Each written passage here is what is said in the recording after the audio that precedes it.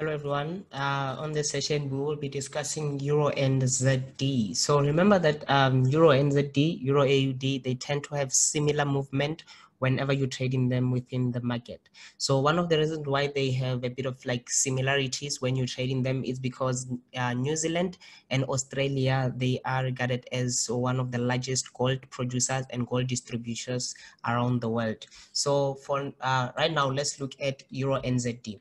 So looking at Euro NZD from a monthly time frame, again the most important thing about like doing your analysis especially top down analysis is to understand where price has the likelihood of heading to right? So this is not mainly for um, uh, like on a monthly time frame higher time frame it's not for entry. It's basically just to understand where the market uh, uh, has the potential of going to and then also minimizes the noise when you are on higher time frame. The higher you move up the time frame the less noise you start having within the market. So question is like what are things that create uh, noise within the market or that bring forth noise within the market so basically you've got things like um, economic events you've got fundamentals as well uh, those are the things that creates a bit of volatility within the market resulting in a bit of spikes upwards or downwards due to um, the market reacting to those news being released. So now looking at the Euro NZD from a monthly time frame. So we were in a bit of a consolidation. Uh, we recently broke above it, but we have yet to a significantly break above it. So the market retested the 61.8, uh, the 50% Fibonacci retracement level on a monthly time frame, and then kind of like retraced back again to where it in, uh, it originally broke out of. So we can expect the market to kind of give us a bit of a deeper correction whereby it will retest the 61.8 fib level before the price can continue declining in value. So remember that like the 61.8 fib level, the 50% fib level, the 38.6 fib level, the 78.6 fib level, those ones are regarded as the continuations level. So those are the ones that continue with the direction of the trend. So the market, when it tests the 61.8 fib level, 50% fib level, that will result in the market uh, retracing and pushing a bit further to the downside. So, okay. So now we do understand what has occurred, right? So if uh, you within my team, you know that like uh, positions here, what has occurred here, uh, how the banks were maneuvering around this area before they had that push to the upside. So now let's look at this area here right? So this is our main objective. So um, initially, like when I was starting to like um, show people or like kind of like help people on like how to actually approach the chart, I would normally say like split your charts into two. Uh, the reason why you're splitting your chart into two is to understand historical data, right? And then understand current data, right? In order to make decision based on the historical data because like in uh, forex the first thing that you the one of the things that uh, you need to know is that like each and every candlestick basically represents the receipts of the transactions made by institutional players right? So if you understand their receipts if you understand their paper trail that allows you to kind of like be in a position where you can anticipate or try to uh like kind of like navigate and try to move uh, or mimic their moves as well. So move roughly the same as them. Uh, so right now, when you're looking at the market, here we had an impulsive move, right? We had an impulsive move. So after we had an impulsive move, we had a correction in the form of a consolidation, right? So after we had that correction in the form of a consolidation, now the market made that impulsive move, pushing price to the upside, breaking above that consolidation. So now the market came back to that consolidation to retest the level in which it broke out of. When we're talking about the level in which it broke out of, we're talking about the resistance of the consolidation box or the consolidation area. So remember that we've got two types of consolidation. We've got the distribution phase and we've got the accumulation phase. So the distribution phase leads to an uh, uh, leads to a downtrend while the accumulation accumulation phase leads to a downtrend. Uh, uh, the accumulation phase leads to a uptrend, right? The distribution phase leads to a downtrend, accumulation phase leads to an uptrend. So basically where the consolidation is located does play a key role, right? So right now uh, the consolidation acted as an accumulation phase that led to an uptrend, right? So this is an impulse correction. We're currently within the last leg of the impulsive phase. So again, whenever you're analyzing look for things that might result in price pushing to the upside. For instance, this is one of the reasons why the market, uh, the market has the likelihood of pushing to the upside because we have an unfilled, we have an unfilled tail, right? So remember that when you are within the market, the, uh, the market has the likelihood of filling the tails which were created initial. The market will come back to fill that tail. It might take longer, but at some point it will come back to fill that tail. So right now we are currently looking at the market and say, okay, so now if I'm looking at the market and then I've had this retracement, what was the reason for this retracement, right? Remember that the depth of the correction depends on the amount of retail traders coming into the market and placing long positions.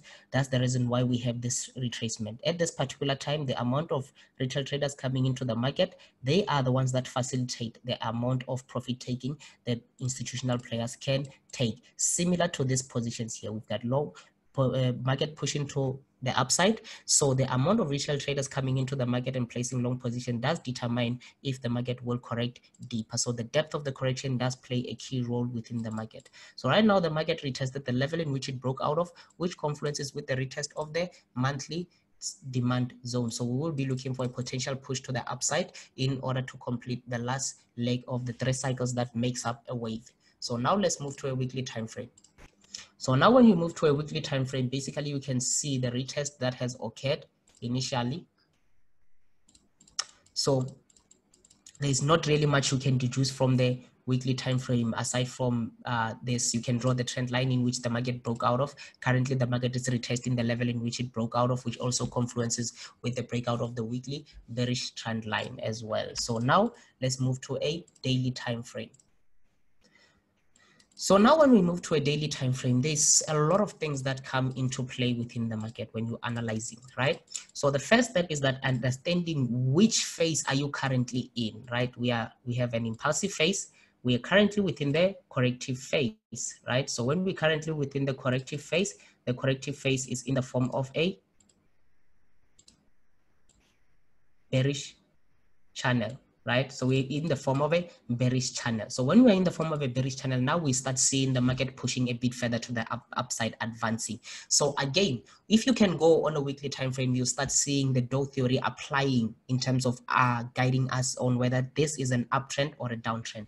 So now when you're looking at it in terms of Dow theory, looking at this area in terms of Dow theory. So basically the Dow theory states that the market will continue being in an uptrend up until a recently formed high has been broken. So we cannot wait for the market to um, break this high before we can consider taking long positions. So this would have been or this is a good great would have been a great area for you to consider taking long position based on the fact that the market has retested the lower trend line of the bearish channel for the third time. So the third retest usually leads to a rejection and a potential push to the upside.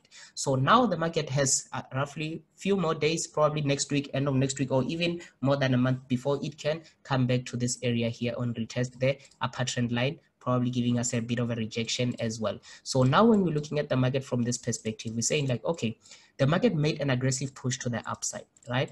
So we still have what? An inner trend line. We still have an inner trend line, right? So the market is yet to test that inner trend line, but it's trending around it, right? So market is currently retesting the level in which it broke out of, basically around this area. So this is the level in which it broke out of. So it's currently retesting that level, the uh, support level, now trend resistance. So at this particular area, we can expect the market to kind of like give us a bit of a retracement, right? So before we can have that push to the upside. Remember, this is an impulse. We're currently in the corrective phase. We're looking to complete the last leg of the impulsive phase in attempts to do what? To fill this tail, right? So let's move to a lower time frame. So now when we go to a four hour, four hour time frame, so remember that like whenever you're trading, the most important thing or the one of the things that you're looking for, you're looking for um, to, to, to kind of like um, get into a position with minimum risk involved. Um, so now you've got this outer trend line here. Let's just look at it from this perspective. You've got this trend line. The market is yet to test that trend line, has the likelihood of pushing a bit further to the upside to retest this trend line before we can have a bit of a decline in the value of Euro AUD before we can have a bit of a continuation. So that's one of the things that we will be looking at because right now the market is currently retesting the level in which it broke out of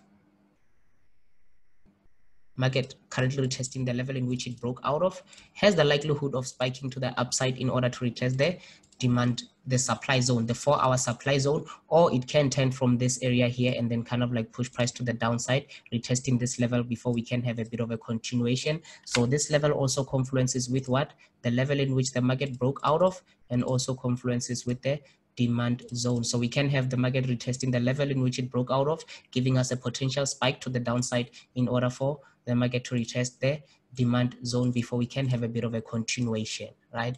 So now let's move to a one hour time frame and kind of like have a feel of what's currently occurring, right? So when you move to a one hour time frame, knowing that the market is currently retesting the level in which it broke out of, right? It's currently retesting the level in which it broke out of. And again, the one thing that we see is that the market made an impulsive phase, right? After making an impulsive phase, made a corrective phase, and then now made the last leg of the impulsive phase. So at this particular area, we can start considering taking short position upon the retest of the supply zone that was recently formed on a one hour time frame while maintaining a proper risk to reward ratio in order for us to push the price a bit further to the downside to retest the demand zone before we can have a bit of a continuation. So remember that like whenever the three cycles have been completed, what normally occurs is that the market will retrace from another three cycle before a continuation. So we can see a bit of a retracement before we can get a bit of a continuation. So we've had an impulse, correction, and then the impulsive phase. So basically we are at the tip of the, th of the third phase. So the three cycles that makes up a wave, they have been completed. We've got a wave that has been completed. Now we're just looking for potential shorting opportunities, pushing price to the downside before we can have a bit of a continuation. So this is something that I'll probably be looking at. And then again, when you start understanding what is required within the market for you to place a trade or get out of a trade or enter a trade, um, basically what you need to understand is that the role that the uh, retail traders or the roles that traders play within the market. So remember that whenever you're trading, the first question you need to ask yourself is that will the institutional players continue buying at this particular price level or will they lower the price in order for them to get some or their remaining positions placed before they can push the price a bit further to the upside, right? So if you're already thinking that, oh, okay, what I'm, I'm looking at, I'm looking at uh, institutional players, coming within the market and pushing the price to the upside. First of all, you have to ask yourself at that particular price level, who are they buying it from?